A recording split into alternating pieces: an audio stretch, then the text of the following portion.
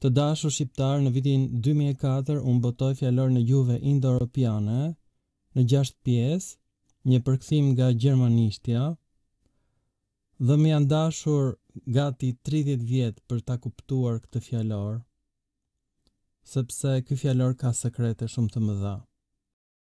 Një nga sekretet e shqipes është se gjuha shqipe, gjuha prygase dhe gjuha armene dhe gjuha helene bëjnë pjesë në një familje të veçantë. Këto katër gjuhë tregojnë se djepi i gjuhëve indoeuropiane është në Iliri.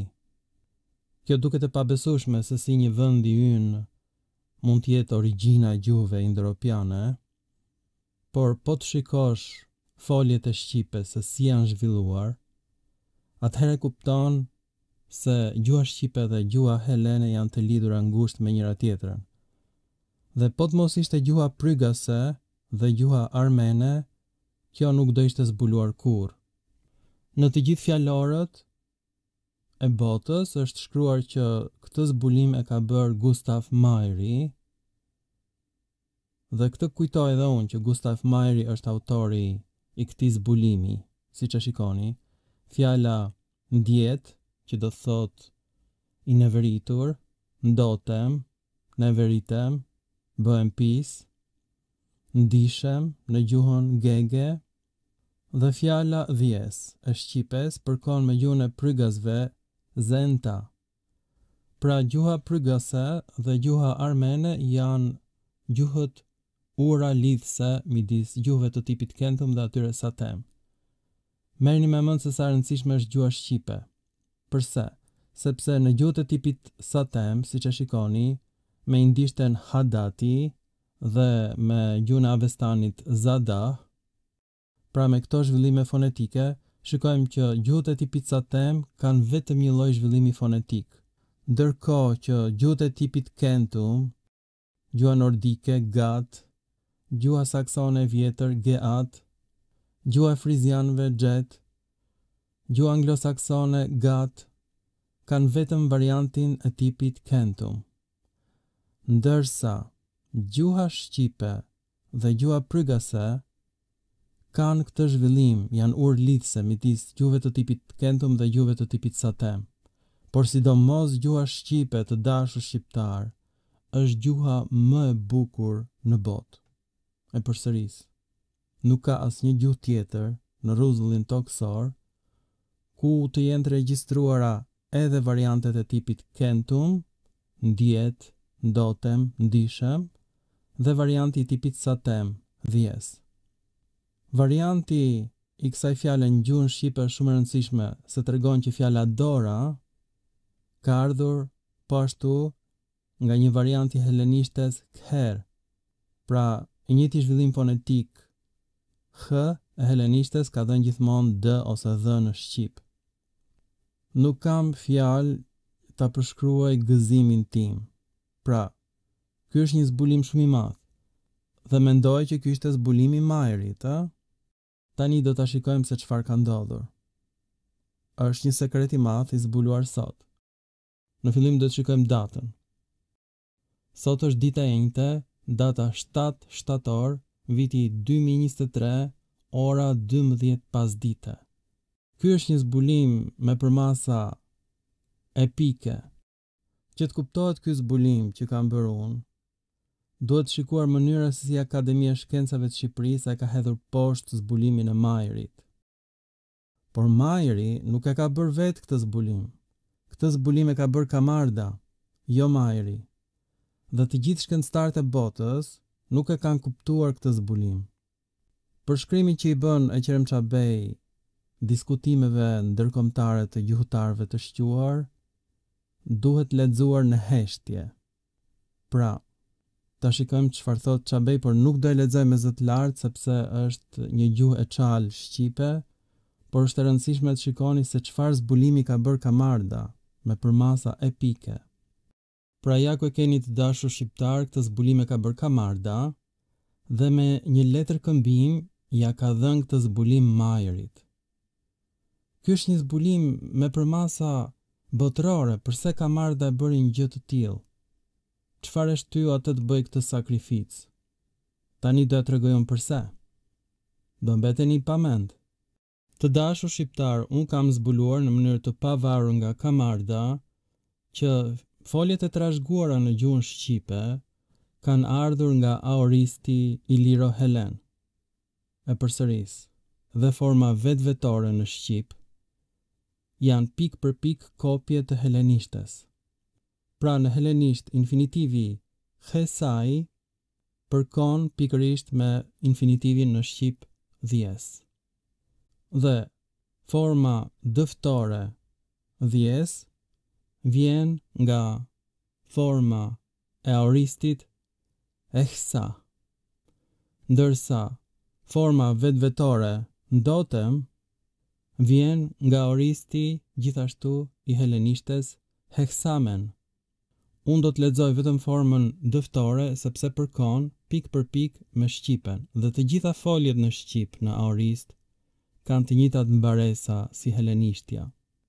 Numri njëjës, veta e parë, e hesa, shqip dhjeva, por kjo është forma e të folurës së toskërishtes. Në të folurën e gegërishtes është njëlloj si folja rrejta, pra është dhjeta. Nuk është e regjistruar në fjalor, po përdoret në të folura dialektore, pra forma me të. Njëlloj si folja me rrejtë. Pra, njëlloj si folja ndotem me të. Pra, e folura e toskërishtes që ne e përdorim si gjuhë standarte, e ka marrë infinitivin nga aoristi helen, ose nga aoristi heleno-ilir, quajeni si doni. Dhe këtë e keni para syve tuaj. Në helenisht është heksai, në shqip është dhjes.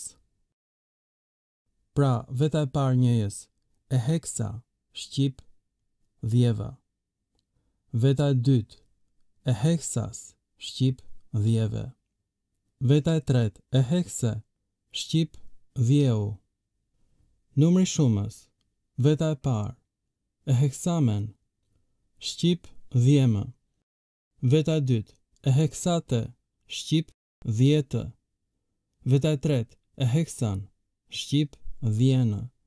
Pra, në numrin shumës, të gjitha vetat në shqip dhe në helenisht përkojnë, jo vetëm me këtë folje, por me të gjitha foljet e gjuhës shqipe.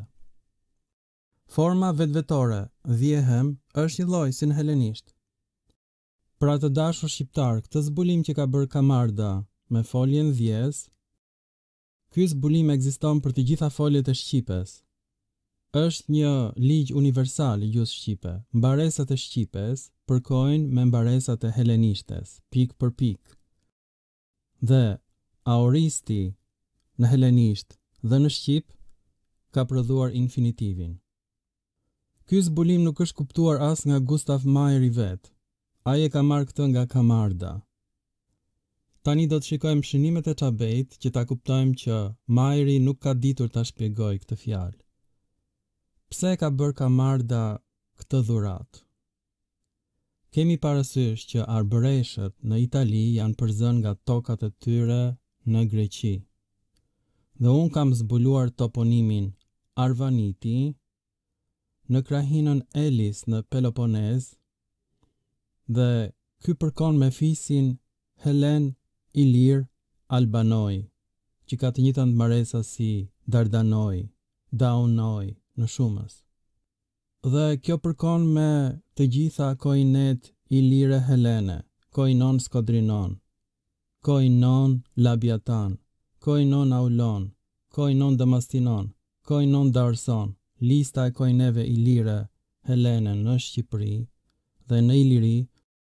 është disa herë më e lartë se sa lista e koineve në Hellad. Pas këtyre zbulimeve, atëherë e kuptova lidhjen e jashtëzakonshme që ka gjuha shqipe me gjuhën helene. Por, siç e shikojmë tani tek Fjalori i Gjuhëve Indoeuropiane, ta shikojmë? Po ta shikojmë Fjalorin e Gjuhëve Indoeuropiane, gjuha shqipe pra është ura lidhëse midis gjuhëve të tipit Satem dhe atyre Kentum. Dhe ura lidhëse është gjithashtu gjuha e prygasve, po ashtu edhe gjuha e armenëve. Por vetëm në shqip janë të gjitha format fonetike të tipit satem dhe kentum, në asnjë gjuhë tjetër indoeuropiane. Është rrënja më spektakolare, më e jashtëzakonshme e të gjitha rrënjëve në gjuhët indoeuropiane. Është e pabesueshme kjo që ka ndodhur. Tani e kuptoni se sa rëndësishme është gjuha shqipe. Pra, gramatikisht, gjuha shqipe është nëna e gjuhëve indoeuropiane. Kjo tregon që të gjitha fjalët që gjuha shqipe ka të përbashkëta me gjuhët sllave janë fjalë të përbashkëta. Pra, gjuha shqipe është urë lidhëse tipit satem dhe kentum. Në gjuhën shqipe nuk ka problem. Janë të dyja variantet. Kjo për arsyen se gjuha shqipe nuk është shkruar për një kohë kaq të gjatë dhe nuk është ngurtësuar as forma tipit kentum dhe as forma tipit satem. Pra është një fatkeqësi që gjuha shqipe nuk është shkruar që nga shekulli i tetë para erës sonë, me zbulimet në gjuhën mesape të gjetura në Italinë e Jugut. Por praktikisht, Shqiptarët kanë folur një gjuhë të pashkruar prej njëzet e tetë shekujsh dhe kjo është arsyeja që janë ruajtur të pangurtësuara format e tipit satem dhe kentum në të njëjtën kohë. Pra është një fatkeqësi shumë e madhe kjo që ka ndodhur, ëh. Por në të njëjtën kohë, gjuha shqipe është një muze i gjallë i gjuhës që është folur, gjuhës primordiale. E shikoni apo jo, se sa e rëndësishme është kjo rrënjë? Dhe asnjë gjuhëtar s'e ka kuptuar këtë përveç Kamardës. Tani do ta shikojmë se çfarë thotë Eqrem Çabej, çfarë thonë Jokli, Majeri, La Piana. Por nuk do ta lexoj me zë të lartë sepse gjuha që përdor Çabej është gjuhë e çalë. Është një gjuhë e neveritshme. Pra përpiquni ta lexoni në mënyrë të heshtur vetë dhe unë do e lëviz dalngadalë që ju ta lexoni të gjithë tekstin. Pra tani po lexojmë në anën e djathtë Këtë fjalë qysh prej Kamardës dhe Gustav Majrit e kanë shpjeguar dhe autorë të tjerë dhe e lidhin me indishten e vjetër Hadati, dhjet, dhe me helenishten Hezo, dhjes. Por, siç e patë dhe më sipër, forma e infinitivit në helenisht vjen nga aoristi, Po ashtu dhe në shqip vjen nga aoristi dhe këtë nuk e di asnjëri. Tani ta shikojmë që Gustav Majri këtë nuk e kupton këtë zbulim të Kamardës dhe sipas Majrit dhjes vjen nga një ghedio dhjet me shurdhimin e dës në pozicion fundor. Të kthehemi prap një çik fare tek gjuhët helene? E shikoni pra që Gustav Majri s'ka kuptuar gjë fare. Nuk e di ai që gjuha helene dhe gjuha shqipe janë gjuhë identike. Ose më saktë, helenishtja është një nga dialektet ilire, sepse në ilirisht është dhe varianti satem dhe kentum në të njëjtën kohë. Pra Majri këtë s'e kupton. Pse? Sepse nuk ishte formuar akoma fjalori i gjuhëve indoeuropiane. Pra, Gjuha shqipe ka ndihmuar për të krijuar fjalorin e gjuhëve indoeuropiane. Pa shqipen, ky fjalor nuk do kishte kuptim, sepse nuk ka një urë lidhëse midis gjuhëve satem dhe atyre kentum. Kini parasysh që të gjitha gjuhët e fjalorit të gjuhëve indoeuropiane janë gjuhë të vdekura. Edhe helenishtja e vjetër është gjuhë e vdekur. Nuk përdoret nga grekët e sotëm. Pra Gustav Majri nuk e kishte idenë që Folja shqipe dhjes është një lloj si infinitivi helenisht, heksai. Kopje. Dhe vetëm në shqip dhe në helenisht është forma vetvetore, në asnjë gjuhë tjetër indoeuropiane. Dhe vetëm në shqip dhe në helenisht përkojnë të gjitha mbaresat e shumësit, në asnjë gjuhë tjetër indoeuropiane. Pra, shqipja nxjerr infinitivin nga aoristi iliro-helen.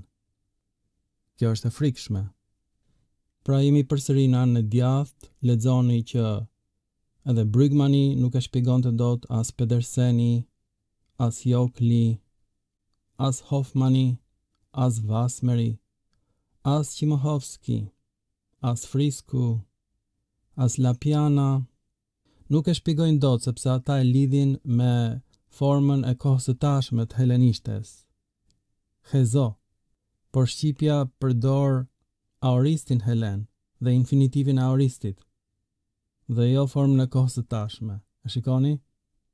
Asnjë s'e kupton këtë gjë. Ju duhet të shikoni medoemos një film tjetër që kam bërë unë për foljen Prish në gjuhën shqipe, që është krijuar nga aoristi helen eprisha, ndërkohë që forma e kohës së tashme është Prio në helenisht. Dhe këtë zbulim gjithashtu e ka bërë Kamarda. Dhe këtë zbulim askush s'e ka kuptuar, vetëm unë. Pra Kamarda ia ka dhënë këtë zbulim Majrit dhe Majri s'e ka kuptuar fare. Tani kalojmë në të majtë. ku Lapiana mendon që kjo ka ardhur nga një fjalë tjetër helene, deisa, që do të thotë lagështi. Lexojeni në mënyrë të heshtur. Në anën e majtë jemi gjithmonë.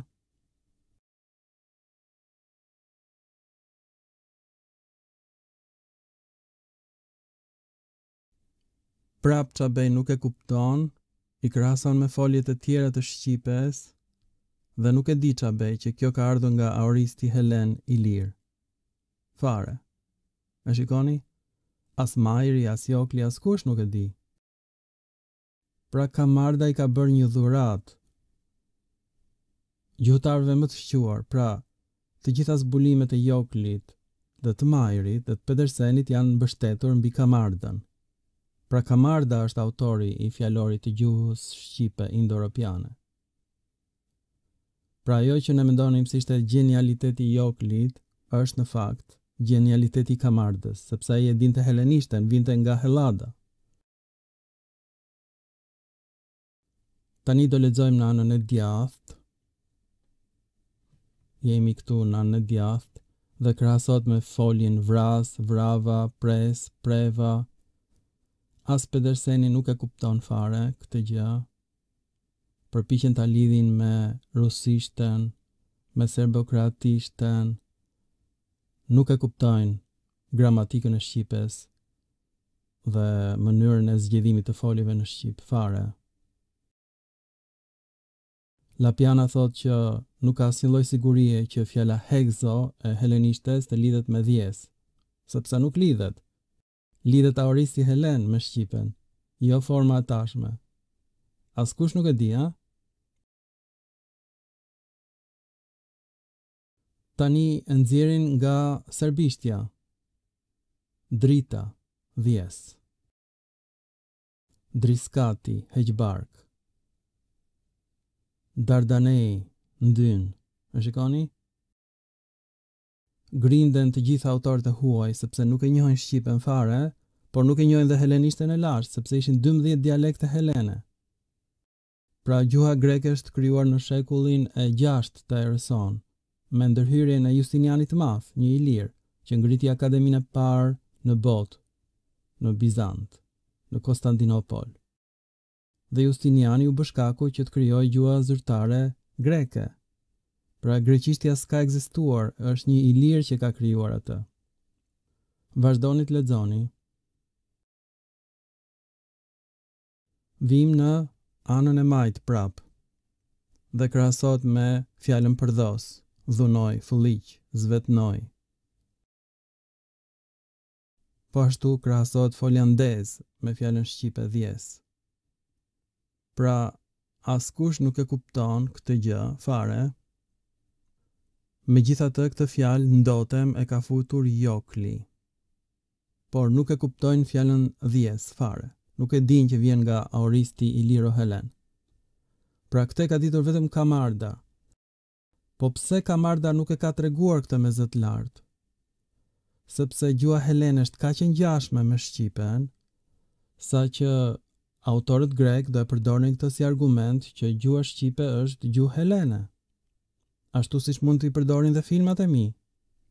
Por nuk është e vërtetë, sepse gjuha shqipe mban të gjitha format, format e tipit satem dhe kentum, dhe gjuha prygase pra që është folur në Epir, Epiri quheshte Prygja ose Bregu dhe u përkthye në Epir në helenisht, Pra ne duan të na e marrin Epirin dhe po të dinë ata që të gjitha fjalët e shqipes vijnë nga iliro-helenishtja, atëherë do na marrin dhe Shkodrën, do na marrin dhe Dardaninë, do na marrin të gjithë Shqipërinë, grekët e sotëm se janë shumë të neveritshëm dhe do thonë atëherë Shqipëria qenka një tokë helene.